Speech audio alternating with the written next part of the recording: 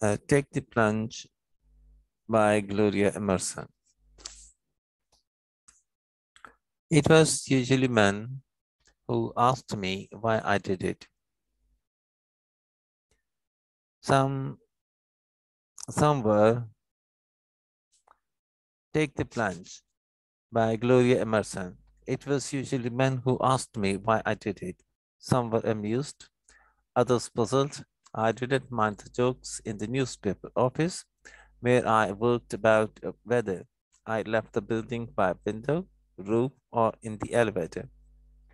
The truth is that I was an unlikely person to jump out of an airplane, being neither graceful, daring, nor self-possessed.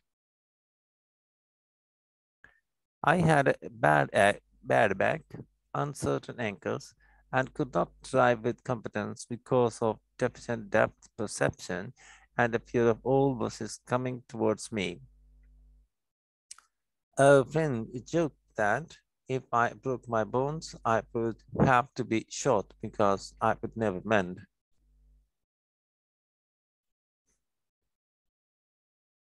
I never knew why I did it. It was in May, a bright and dull May, the last May that made me want to be reckless. But there was nothing to do then at the beginning of a decade that changed almost everything. I could not wait that May for six days to unroll. I worked in women's news. My stories came out like little cookies. I wanted to be brave about something, not just about love or a root canal or writing that the shoes at Arnold Constable looked strangely sad.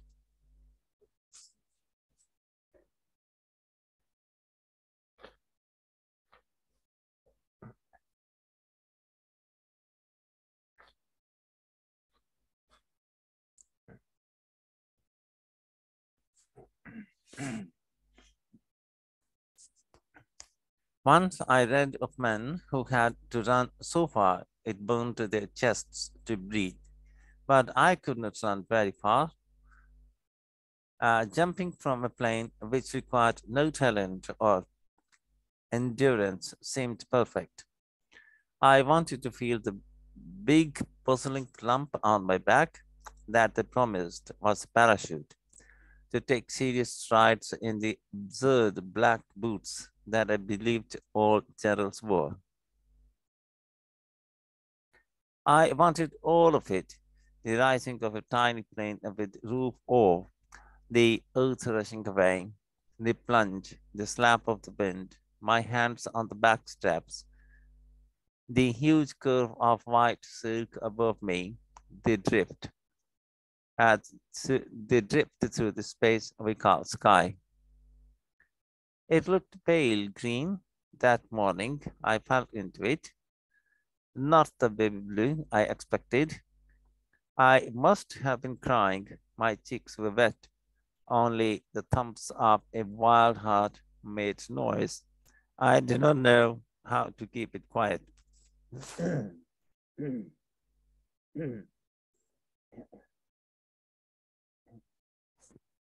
That May, that May, my mind was as clear as clay. I did not have the imagination to perceive the risks, to understand that if the wind grew nasty, I might be electrocuted on high tension wires, smashed on a roof, drowned in water, hanged in a tree. I was sure nothing could happen because my intentions were so good just as young soldiers start out certain of their safety because they know nothing.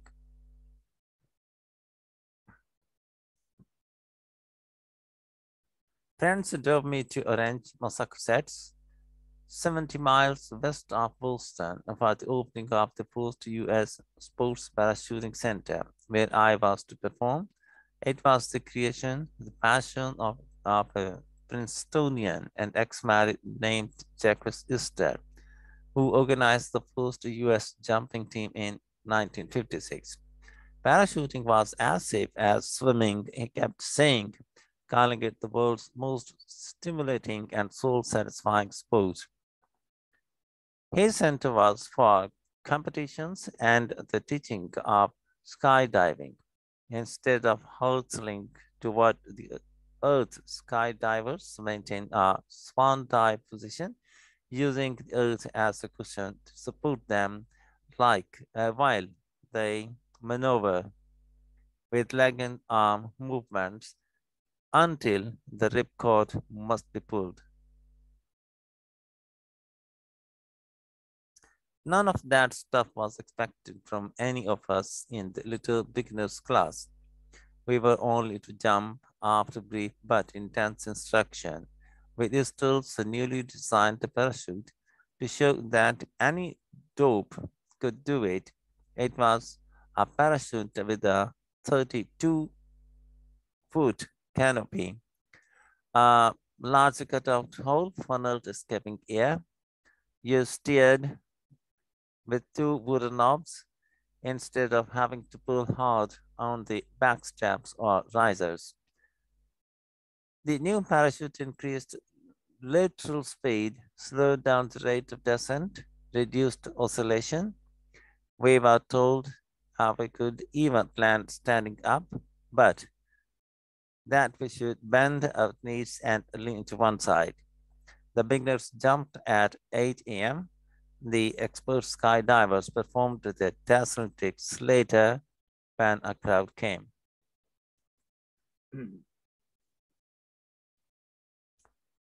two, us, two of us subordinate a Cessna 180 um, that lovely morning. The wind no more than a ticker. It was not myself, no longer thin, and no longer fast. The jumpsuit, the equipment, the helmet, the boots had made me into someone thick and clumsy, moving as strangely as if they had put me underwater and said I must walk. It was hard to bend, to sit, to stand up. I did not like the man with me. He was eager and composed. I wanted to smoke, to go to the bathroom. But there were many straps around me that I did not understand.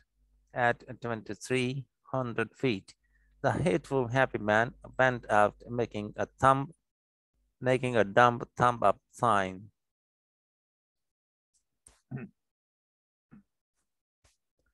When my turn came, I suddenly felt a stab of pain for all the forgotten soldiers who barked and were kicked out, perhaps shot for their panic and panic and of delaying the troops.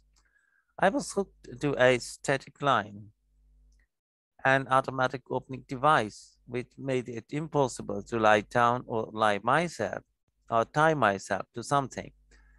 The drill master could not hear all that I shouted at him, but he knew the signs of mutiny and re removed my arms from his neck. He uh, took me to the doorway, sat me down, and yelled, Go, or now, or out. There was nothing to do uh, but be punched by the wind, which knocked the spit uh, from my mouth, reach um, for the wing, strut, hold on hard, kick back the feet so weighted and helpless in those boots and let go. The parachute opened after the plop as Istel had promised me that it would. When my eyelids opened as well, I saw the white gloves on my hands of old old ones from Saks, Saks Fifth Avenue gloves I wore with summer dresses. There was dribble on my chin, my eyes, my nose were leaking. I wiped everything with the gloves. There was no noise. The racket of the plane and wind had gone away. The cold and sweet stillness seemed an astonishing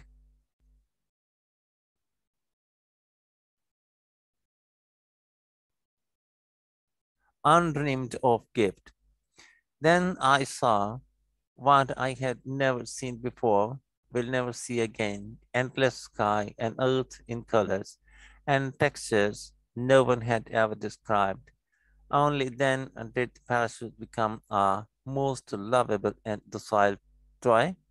This would not to go, go left. This would not to go right. The pleasure of being there, the drifting and the calm rose to a fever. I wanted to stay pinned in the air and to stop the ground from coming closer. The target was a huge arrow in a sandpit. I was cross to see it, afraid of nothing now. Even the wind was kind and the trees looked soft. I landed on my feet in the pit with a bump, then sat down for a bit. Later that day, I was taken over to meet General James Gavin, who had led the 82nd Airborne in the D-Day landing at Normandy. Perhaps it was to prove to him that the least promising pupil, the cockiest, could jump. I it did not matter that I stumbled and fell before him in those boots, which walked uh, with the will of their own.